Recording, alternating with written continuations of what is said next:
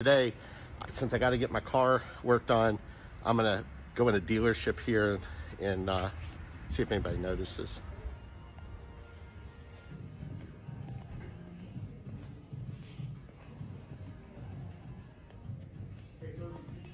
Hello?